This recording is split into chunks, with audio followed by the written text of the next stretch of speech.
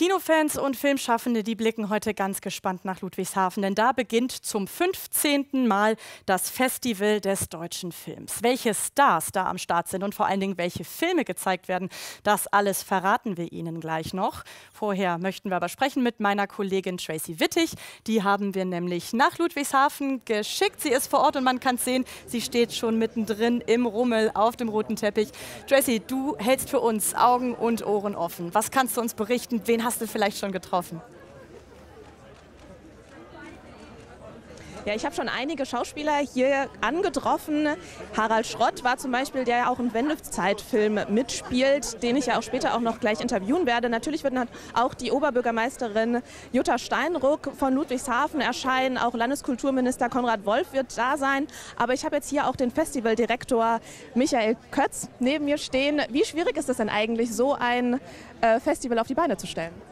Naja, es ist schon Arbeit. Also ich mache es Gott sei Dank nicht alleine. Wir arbeiten ein Jahr daran und äh, gut. Und dann muss es alles in den 19 Tagen funktionieren. Auf Anhieb und perfekt. Aber es tut's.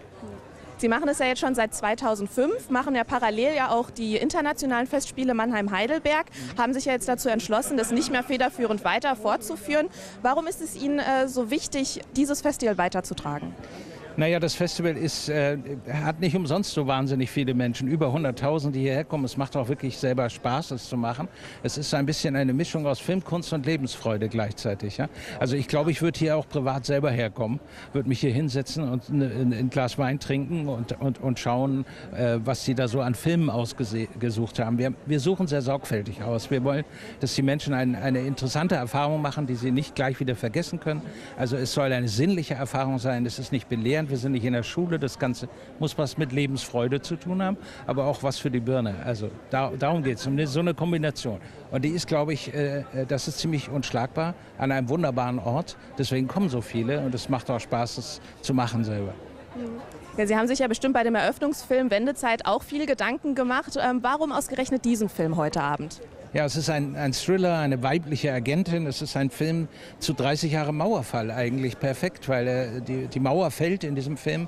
Äh, sie erzählt noch einmal die ostdeutsche, westdeutsche Geschichte in Form dessen, was, äh, was auf der Agentenebene passiert ist. Aber eigentlich ist es eine Liebesgeschichte und, und, es, äh, und, und es wird aber ein bisschen klar, was damals wahrscheinlich ein bisschen vergessen wurde, nämlich die Menschen. Wir wissen, dass sie äh, da, dadurch ein bisschen rebellieren im Osten, weil sie sich eben vergessen fühlen und das wahrscheinlich nicht zu Recht. Man hat sie zu sehr abgewickelt und erledigt. Und das rächt sich ein bisschen und, und, und davon erzählt der Film auch, indirekt.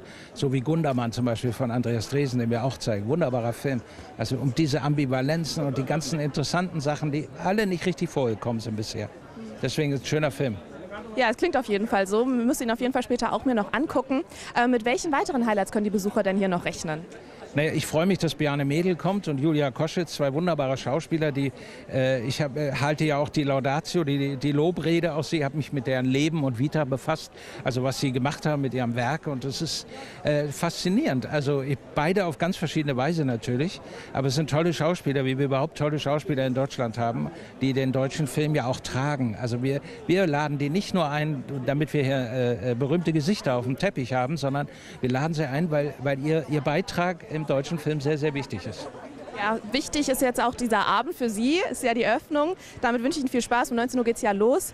Und äh, später werden wir ja noch Harald Schrott äh, im Interview sehen. Und ja, schauen wir mal, was der Abend heute noch so bringen wird für mich.